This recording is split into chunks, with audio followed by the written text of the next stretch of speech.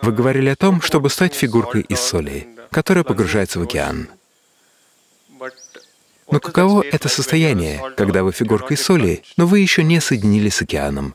Не могли бы вы описать это состояние?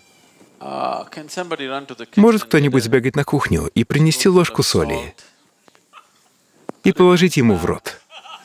Тогда он поймет, как ощущается это состояние.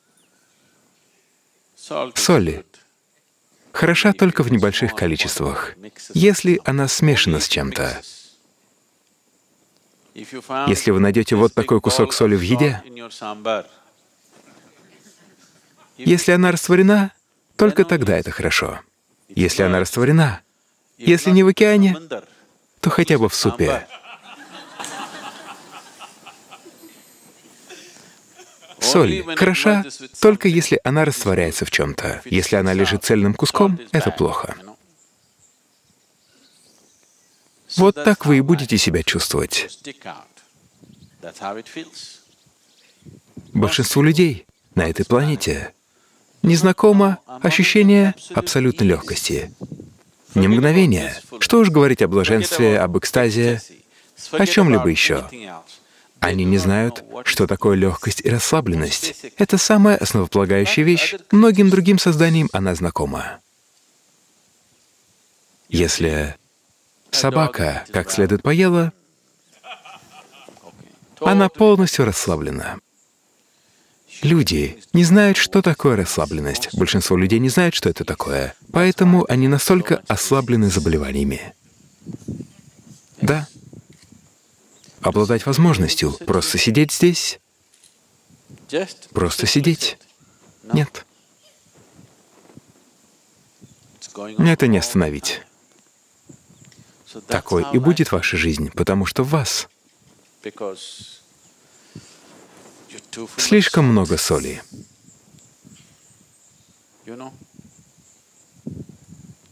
Это слово используется по-разному. Когда мы говорим «соль», одно из значений этого слова — суть. Когда вы говорите «соль земли», это означает ее суть. Когда мы говорим, что вы стали фигуркой соли, речь идет о сути, суть вашей личности — Сейчас суть вашей личности — это просто ваши идеи, эмоции, мнения и набор предрассудков. Это является сутью вашей личности.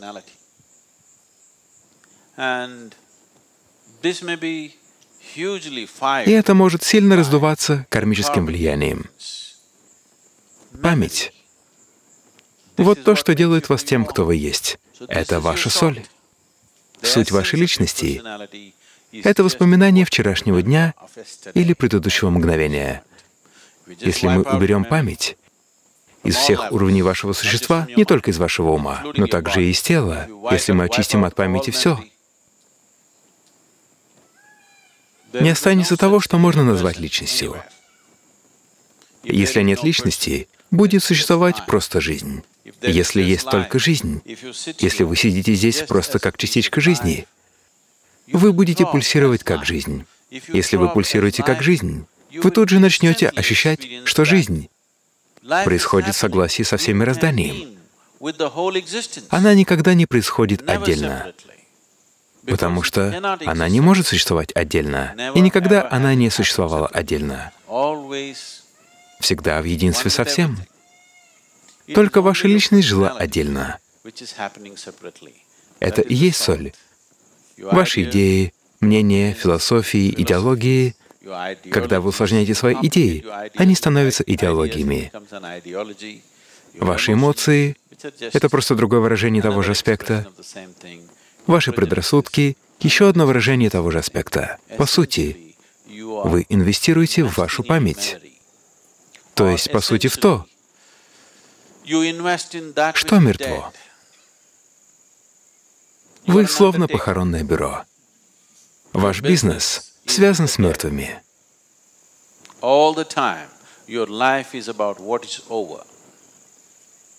Ваша жизнь постоянно связана с тем, что уже закончилось. Из-за того, что вы работаете в бюро похоронных услуг, вы живете в своеобразном напряжении. Однажды Шанкаран Пилай приехал в Нью-Йорк и взял такси. чтобы добраться к месту назначения.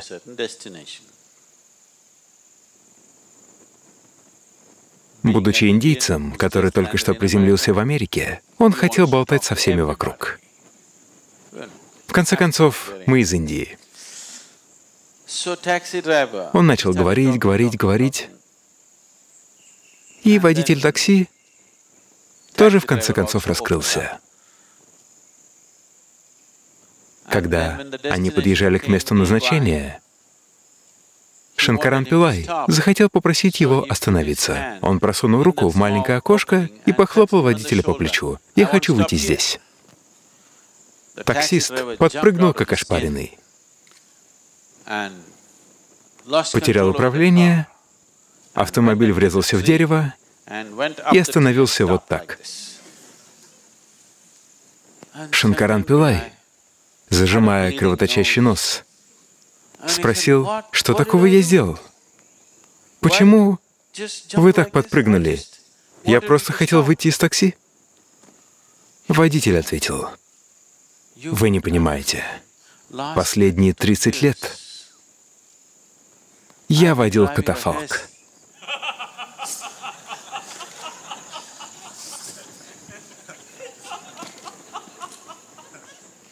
Еще никогда никто из моих клиентов не хлопал меня по плечу. Он работал в бюро похоронных услуг, поэтому его клиенты всегда были мертвы. И когда сегодня его клиент постучал ему по плечу, тот потерял контроль. Большинство людей так и живут. Они пугаются всего, потому что живут с мертвыми. Если вы живете вчерашним днем, вы живете с мертвыми. Посмотрите на это внимательно. Все, чем вы являетесь, ваша личность, вылеплена из того, что мертво. Ваше зрение окрашено тем, что мертво. Вы смотрите на всех, основываясь на том, что случилось вчера. Так что вы живете с мертвыми, и если происходит что-то живое, вы начинаете подпрыгивать от испуга. Когда мы инициируем людей, что-то немного оживает в них. Люди начинают пугаться, что происходит. Вы оживаете. Вы были мертвы уже долгое время. Это воскрешение мертвых.